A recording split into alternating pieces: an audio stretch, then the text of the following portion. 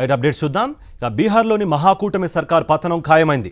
CM Nitish Kumar మళ్ళీ NDA గూటికి చేరేందుకు రంగం సిద్ధమైంది. నేడో రేపో ఆయన ముఖ్యమంత్రి పదవికి రాజీనామా చేస్తారనే ప్రచారం జోరందుకుంది. ఆదివారం కొత్త ప్రభుత్వం ప్రమాణ స్వీకారం చేస్తుందనే వార్తలు గుప్పుమంటున్నాయి. ఇక బీజేపీ మద్దతుతో ప్రభుత్వం ఏర్పాటు చేయనున్నారు నితీష్. ఇక ముఖ్యమంత్రిగా నితీష్ కుమార్ బీజేపీ నేత సుశీల్ కుమార్ మోదీ డిప్యూటీ సీఎంగా ప్రమాణం చేస్తారు అని అంటున్నారు సంబంధిత వర్గాలు.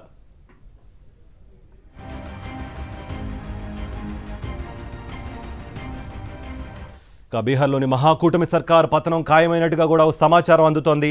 సీఎం నితీష్ కుమార్ మళ్ళీ ఎన్డీఏ గూటికి చేరేందుకు రంగం సిద్ధమైనట్టుగా కూడా ఒక సమాచారం అందుతోంది. ఇక నేడో రేపో ఆయన ముఖ్యమంత్రి పదవికి రాజీనామా చేస్తారనే ప్రచారం కూడా జరుగుతోంది. దీనిపై ఓవరాల్ అప్డేట్స్ అందించడానికి మా ఢిల్లీ ప్రతినిధి వెంకటేష్ అందుబాటులో ఉన్నారు. వెంకటేష్. బీహార్లో రాజకీయ పరిణామాలు వేగంగా మారుతున్నాయి.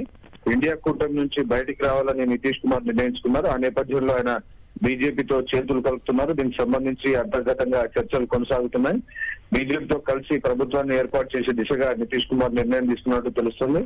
ఈ నేపథ్యంలోనే ఈ నెల మరొక రెండు రోజుల్లో ఆదివారం రోజున నితీష్ కుమార్ బీజేపీతో కలిసి ప్రభుత్వాన్ని ఏర్పాటు చేయబోతున్నారు. ఆ మేరకు ఇప్పటికే ఆయన గవర్నర్ను కలుసుకున్నారు. అలాగే ఆయన ప్రతినిధులు కేంద్ర హోంమంత్రి అమిత్ షాను కూడా కలుస్తున్నారు. అలాగే బీజేపీ జాతీయ అధ్యక్షుడు జేపీ నడ్డాతో కూడా చర్చలు పూర్తయినటువంటి పరిస్థితి. సో మొత్తానికి గతంలో బీజేపీ జేడీయూ ప్రభుత్వం ఎలాగైతే కొనసాగిందో అదే తరహాలో మెజారిటీ మంత్రి పదవులు రెండు డిప్యూటీ సీఎం పోస్టులు బీజేపీకి ఇవ్వబోతున్నారు. ముఖ్యమంత్రిగా నితీష్ కుమార్ మరోసారి ప్రమాణ స్వీకారం చేయబోతున్నారు. సో మొత్తానికి బీజేపీతో కలిసి వెళ్ళాలని నితీష్ కుమార్ నిర్ణయం తీసుకున్నారు. ప్రధానంగా ఇండియా కూటమిలో తనకు ప్రాధాన్యత లేకపోవడం అలాగే తాజా రాజకీయ పరిణామాలు రీసెంట్గా కర్దూరి ఠాకూర్కు కేంద్రం భారత్ రత్న ప్రకటించింది. సో దీన్ని నితీష్ కుమార్ కూడా స్వాగతించారు. సో ఓబీసీ నాయకుడిగా ఉన్నటువంటి కస్తూరి ఠాకూర్కు భారత్ రత్న ఇవ్వడం వల్ల డెఫినెట్గా బీహార్లో దానివల్ల మంచి ఫలితాలు వచ్చే అవకాశం ఉంది. సో తాజాగా ఉన్నటువంటి రాజకీయ పరిస్థితులన్నిటినీ